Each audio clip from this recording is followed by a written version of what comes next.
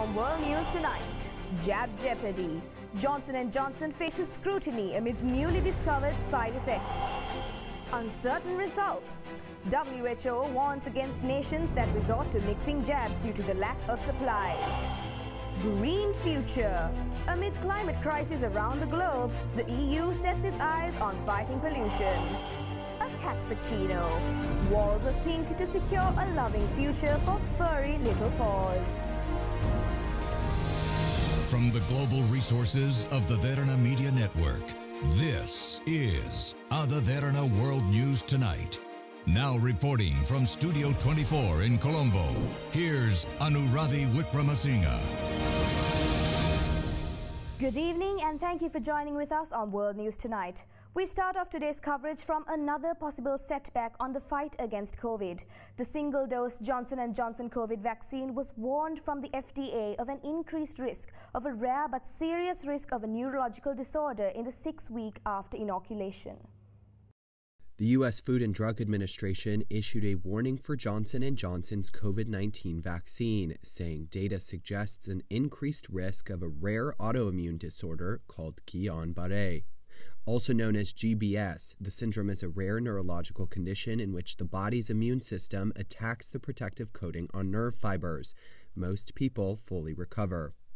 In a Monday letter to the company, the FDA said the chances of getting GBS was, quote, very low but still warned that recipients of the J&J vaccine should seek medical attention if they show symptoms within 6 weeks of inoculation, including weakness, tingling sensations, difficulty walking, or difficulty with facial movements. Most cases were in men over the age of 50. Nearly 13 million people have received J&J's one-dose vaccine in the US. Out of 100 preliminary reports of GBS, the FDA says 95 cases have required hospitalization and one death has been reported. The warning is another setback for the J&J shot, as its one-dose system was supposed to help vaccinate hard-to-reach areas. Last week, European regulators issued a similar warning for AstraZeneca's vaccine, which uses technology like J&J's, a traditional virus-based approach. Meanwhile, the FDA has not linked GBS to the mRNA vaccines, Pfizer BioNTech and Moderna.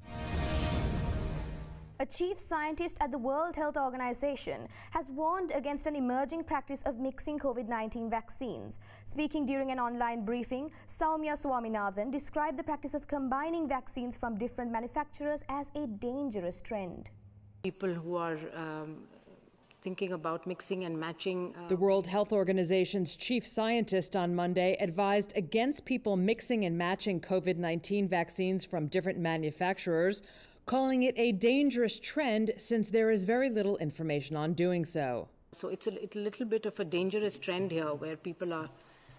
In a, we're in a data-free, evidence-free zone as far as a mix and match. There is limited data on mix and match. It will be a chaotic situation in countries if citizens start, you know, deciding when and who uh, they should be taking a second or a third or a fourth dose. Dr. Soumya Swaminathan made her comments during the WHO's latest online briefing. Infectious disease experts are weighing whether people who received Johnson & Johnson's single-dose vaccine should receive a booster of the Pfizer or Moderna mRNA-based vaccine, which are said to be more effective against the highly contagious Delta variant. One of those who did mix and match is Dr. Angela Rasmussen, a researcher at the University of Saskatchewan's Vaccine and Infectious Disease Organization, who made headlines after she said on Twitter that she had gotten a dose of Pfizer's vaccine in June after receiving J&J's in April. She also advised other J&J recipients, especially those living in areas with low vaccination rates, to talk to their doctors about doing the same. Separately, Pfizer is pushing U.S. and European regulators to authorize a third booster shot to supplement its two dose regimen. But health officials, including the WHO's Swaminathan, have said there is no medical evidence that a third Pfizer shot is necessary. It has to be based on the science and the data, not on individual companies Instead of offering booster shots to highly vaccinated wealthy nations, the WHO's Director General on Monday said companies like Pfizer should send those vaccines to the WHO to give to poorer countries whose unvaccinated citizens desperately need them against a Delta variant he described as, quote, ripping around the world at a scorching pace. The Gavi Alliance has said that it has signed two advance purchase agreements with Chinese drug makers Sinopharm and Sinovac to provide COVID-19 vaccines to the COVAX program immediately. To give us an update on this, we have Ada Derana World News special correspondent Danushka Amaravansa joining us now from Geneva in Switzerland. Danushka? Yes, Anuradhi. The new deals include up to 170 million doses of the Sinopharm shot and up to 380 million shots of the Sinovac vaccine through mid 2022. Soumya Swaminathan, the chief scientist of the World Health Organization, said at a press conference that she was glad to see that the two Chinese vaccines have entered COVAX and will be made available from July. Swaminathan said that these doses are very much needed at present for the many countries expecting vaccines. Gavi, which runs the global vaccine sharing scheme COVAX with the WHO, did not provide immediate details of which countries would receive the doses. Chief Executive Seth Berkley said deliveries could start quickly because both vaccines have been granted the emergency use listing by the WHO. The WHO claimed on 1st June when it approved Sinovac shot that the results showed it prevented symptomatic diseases in 51% of those vaccinated and prevented hospitalization in 100% of the population studied. When it approved the shot in early May, the WHO said that the Sinopharm vaccine has an estimated efficacy of 79% for all age groups. Back to you, Anuradhi. Thank you. That was Ada Derana World News special correspondent Danushka Amaravansa reporting from Geneva in Switzerland. French President Emmanuel Macron gave a televised address to the French nation as the Delta variant of COVID-19 surges in the country. To elaborate on this, we have Ada Derana World News special correspondent Chetana Dharmaratna joining us now from Normandy in France. Chetana? Yes, Anuradhi. French President Emmanuel Macron began his address by speaking about a surge in infections of the COVID-19 Delta variant in mainland France and its overseas territories, and urged French citizens to get vaccinated. Macron explained that the government was striving to achieve a 100% vaccination rate across the country. Vaccination will become a mandatory for all health workers. Macron urged them to be inoculated by September 15 after which they could face potential sanctions or fines.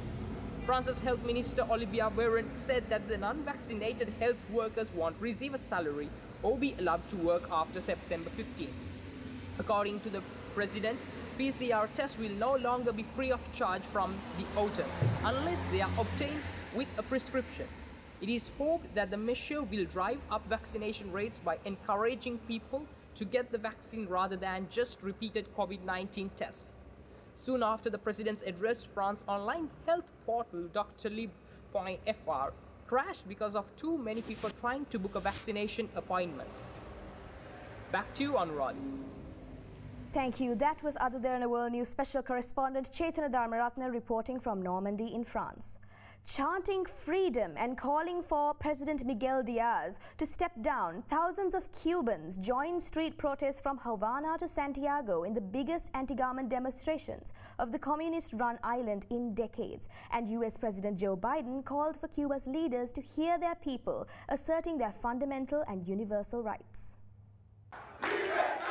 Cuba on Monday blamed the historic protests that took place from Havana to Santiago over the weekend on the U.S. embargo with the Caribbean island nation. Thousands chanted freedom and called on President Miguel Diaz Canel to step down in the biggest anti government demonstrations on the communist run island in decades. From the White House, U.S. President Joe Biden on Monday threw his support behind the protesters. The United States stands firmly with the people of Cuba as they assert their universal rights. And we call on the government, government of Cuba, to refrain from violence and their attempts to silence the voice of the people of Cuba. At the same time, Cuban President Miguel Diaz Canel attacked what he called Washington's hypocrisy for expressing concern when it was fueling the crisis in Cuba with its trade embargo. Is it not very hypocritical and cynical that you block me and you want to present yourself as the big savior? Lift the blockade and then we'll see what Cubans are capable of. The United States had tightened sanctions on Cuba under Trump, Biden's predecessor, including restricting crucial remittances in the middle of the global health crisis. Biden campaigned on easing sanctions but has yet to do so. Mexican President Andres Manuel Lopez Obrador backed Cuba, saying the U.S. economic embargo should be ended. The protests erupted amid Cuba's deepest economic crisis since the fall of the Soviet Union and a surge in infections that has pushed some hospitals to the edge of collapse, in a country that prides itself on its healthcare system. Let's go in for a short commercial break. More world news on the other side.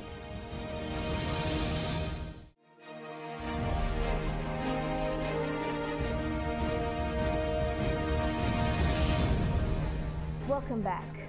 The US West endured a fourth day of scorching heat as temperatures again threatened to shatter records. Major wildfires burned nearly unchecked in drought stricken Oregon and power grids strained under the pressure. A punishing heat wave was again forecast to bring near record high temperatures to many parts of the U.S. West on Monday as a wildfire raged out of control in drought stricken Oregon. The so called bootleg fire had burned through more than 150 acres as of Monday morning, and crews have made little progress containing the blaze. The flames were burning along a high voltage power corridor connecting Oregon's power grid with California's, worrying officials in both states that electricity could be knocked out to thousands of homes and businesses. Hundreds of residents in the Klamath Falls area in south central Oregon were under mandatory evacuation orders and county officials said police began issuing citations to enforce them and will consider the unusual step of making arrests if necessary. In California, scorching temperatures of 120 degrees Fahrenheit over the weekend at Joshua Tree National Park failed to keep visitors away, including a newlywed couple from New Jersey. It's the hottest place on earth. Like, this is hot. It's never been hotter. it feels like we're in an oven, yeah. Like, actual, the air feels hot, yeah. It's so hot. Even visitors from typically hot climates were surprised at the sweltering heat. I came from the Caribbean. I came from Dominican Republic, from a really hot country, and still hot for me. So I'm trying my best. Monday's forecast comes a day after California's Death Valley hit a scorching 130 degrees Fahrenheit, one of the highest temperatures ever recorded on Earth. The unseasonable heat wave triggered by a lingering high pressure system is already the third for the region this year, an anomaly that some experts have attributed to climate change. We have some good news for you. As Mother Nature takes revenge on most parts of the globe, the European Union is set to take the lead in climate policy action among the world's biggest greenhouse gas emitters this week, with a raft of ambitious plans designed to cut emissions drastically over the next decade. Temperatures are approaching 50 degrees in parts of Spain. But as extreme heat events grow more common, the EU is to unveil a raft of ambitious plans designed to cut greenhouse gas emissions. They would put the bloc on track to meet its 2030 goal of reducing planet warming emissions by 55% from 1990 levels.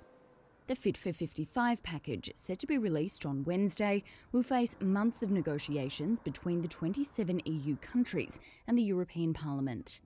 The European Commission will propose 12 policies targeting energy, industry, transport, and heating buildings. Its draft measures aim to encourage companies and consumers to choose greener options over polluting ones. By making climate policies more visible to EU citizens than ever before, Fit for 55 is also set to test public support for ambitious climate action. But the bloc is prepared for industry pushback. Europe's steel and cement sectors are already fighting plans to end free CO2 permits, and some of the sectors due to be covered by a carbon border tariff say they do not want to be included. Other major economies, including top emitters China and the US, have committed to achieving net zero emissions, which scientists say the world must reach by 2050 to avoid catastrophic climate change. The Biden administration has upheld a Trump era rejection of nearly all of China's significant maritime claims in the South China Sea, warning Beijing that any attack on the Philippines would draw a U.S. response. The Biden administration and the former Trump administration may have been deeply at odds over many issues, but China's claims in the South China Sea isn't one of them. On Sunday, the Biden administration upheld a Trump era rejection, warning China that any attack on the Philippines in the highly contested region would draw a U.S. response under a mutual defense treaty. U.S. Secretary of State Antony Blinken says an armed attack on Philippine armed forces, public vessels, or aircraft in the South China Sea would invoke military action from the U.S., reaffirming the position laid out by Trump's top diplomat, Mike Pompeo. The statement also comes ahead of this week's fifth anniversary of an international tribunal's ruling in favor of the Philippines against China's maritime claims around the Spratly Islands and the neighboring reefs and shoals a ruling Beijing rejects. In response to Blinken's statement, China's Ministry of Foreign Affairs on Monday urged the U.S. to stop hyping up the issue, calling it extremely irresponsible.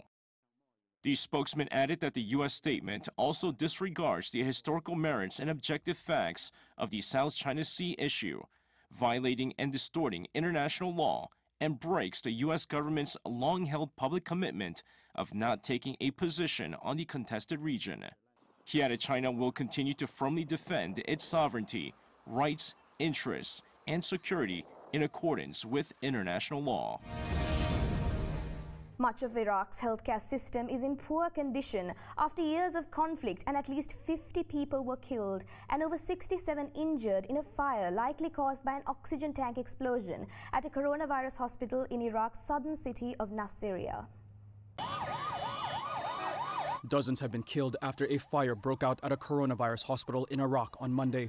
That's according to health officials and police, who said the fire was likely caused by an oxygen tank explosion. The incident occurred in the southern city of Nasiriyah. Health officials there said the fire had been brought under control, but they also said thick smoke was making it difficult to maneuver in the building. One health worker told that many patients were trapped in the coronavirus ward, with rescue crews struggling to reach them. The office of Iraq's Prime Minister Mustafa al Kadhimi said in a statement he was holding urgent meetings with senior ministers and has ordered the suspension and arrest of health and civil defense managers in the city. The statement said that also included the hospital manager. Iraq, which has suffered from years of war and sanctions, frequently sees accidents due to underinvestment, corruption, and wrecked infrastructure. Monday's fire was a blow to its healthcare system, already struggling with an influx of patients and short supplies in the midst of the global health crisis. More than 1.4 million people are infected there, with a death toll of more than 17,000. South African President Cyril Ramaphosa said that the looting and violence following his predecessor Jacob Zuma's imprisonment is damaging efforts to rebuild the economy in the wake of the COVID 19 pandemic. South Africa's horizon was blotted with smoke on Monday as a weekend of sporadic looting and violence, prompted by the jailing of former President Jacob Zuma, continued to rage. Unrest by pro Zuma supporters has been focused on his home province, KwaZulu Natal. Footage showed a mall set ablaze in its capital, Pietermaritzburg, and looting in KwaZulu Natal's biggest city, Durban. But the disorder has also spilled to South Africa's main commercial city, Johannesburg. National intelligence body NatJoints reported that six people have been killed in violent protests since last week, and more than 200 arrested. On Sunday, President Cyril Ramaphosa said people's lives and efforts to rebuild the economy amid the coronavirus pandemic were being endangered. Zuma was sentenced to 15 months in prison for contempt of court after failing to appear before a corruption inquiry. On Monday, he was back in court, asking for his jail term, which he started last week, to be rescinded. Legal experts say his chances of success are slim. Zuma and his supporters say he's the victim of a political witch hunt orchestrated by Ramaphosa's allies. But police say that anger is now being exploited by criminals to steal and cause damage. And on Monday, South Africa's military said soldiers would be deployed to help quell the unrest.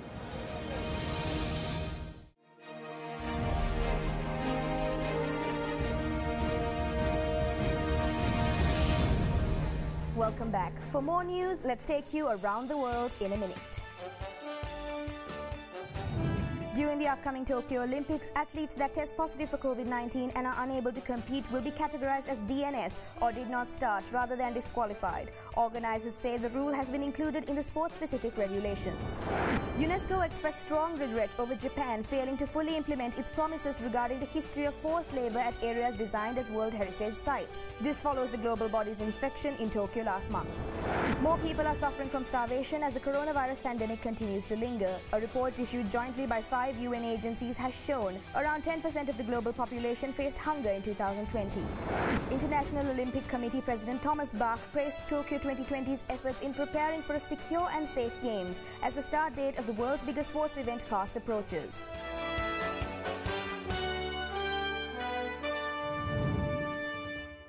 And finally tonight, at the Gato Cafe in downtown Rio de Janeiro, coffee and tea are served with whiskers and a purr. In its pink-walled interior, customers can purchase lattes dusted with cat silhouettes and accompanied by paw-shaped biscuits while cats lounge lazily in an adjacent room. Cat cafes were first popularized in Asia, where they originated in Taiwan in 1998. In addition to offering a feline company, Gato Cafe, which opened last July, simultaneously functions as an adoption site for abandoned cats rescued by an organization called Bigodes do Bunker.